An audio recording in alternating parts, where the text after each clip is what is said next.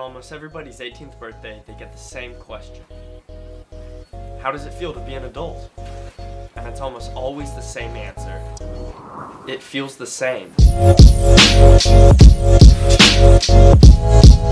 And exactly six months into my 18th year of existence, I can't confirm that the feeling is still the same. I'm still sitting here waiting for that adult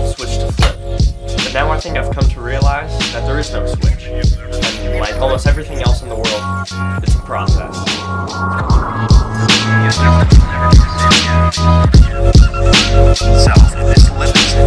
I'm not entirely sure what point I'm at in my life.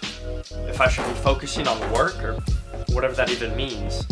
Or if I should embrace the last two years of my life before I can stop using the excuse that I'm still just a kid. And it kind of sucks because that's still really how I feel most of the time. The only difference between being 13 and 18 is that I don't cry about it anymore when I feel like I'm growing up too fast. Did you want it? Yes. Yes. Did you insist on it? Uh-huh. And did I tell you? What did mommy tell you? That you won't like it? Do you like it? No. And that's not a bad thing. Nobody wants a crying 18 year old, and I don't want to be one either. But still, there's so many times when I'm lying in bed late at night, thinking about all the dumb shit I used to do when I was younger. Oh, oh, I was I wasn't recording. I guess I am now. Try again. What are you gonna do? Okay. Goodbye.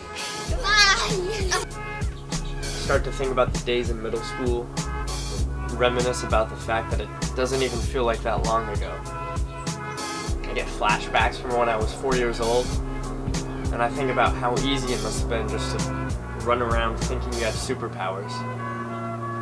But then I realized that I spend about half my day worrying about how I'm going to become a millionaire before I'm 25.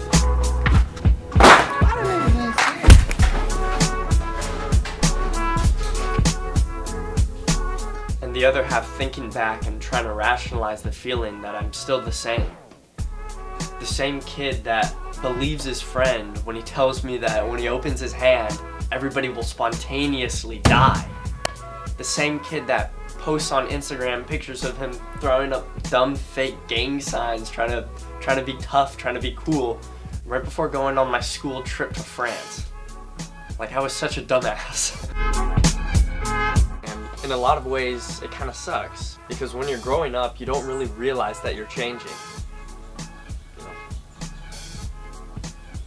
Even now, it's kind of impossible for me to see, but it's happening, you know, every day. For me, one of the hardest parts is just being okay with that. But even though you're not the same kid you were a decade ago, it was still you. And that doesn't change. Alright, thanks for watching this video.